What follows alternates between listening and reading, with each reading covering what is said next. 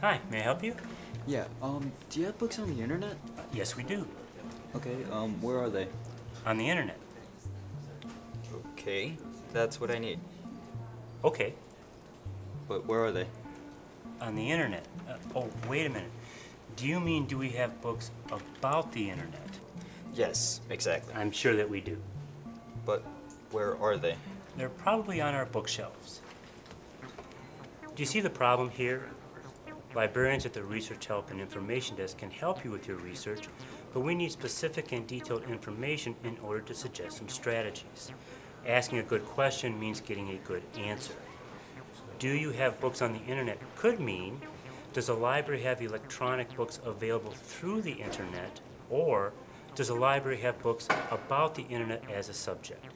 It's like going to the doctor and only saying, ow, it hurts. The doctor needs to have specific and detailed information in order to suggest a treatment. Where does it hurt? What does the pain feel like? How long has it been hurting? Have you taken any medication to help relieve the pain, etc.? Let's try the internet book question again. Hi, may I help you? Yeah, uh, let's see here. Yeah, I'm doing an argumentative research paper on privacy issues on the internet. And it's about five to seven pages long. Now, I tried going through the databases here, but I'm having trouble navigating through them.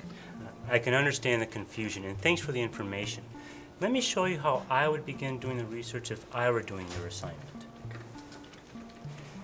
Do you see the differences between these two questions? I now have enough information to make some suggestions and strategies to help this student, and maybe help him get a better grade. Librarians are expert when it comes to navigating the world of information. Librarians at the Research Help and Information Desk will give you patient, personal, non-judgmental help with your research.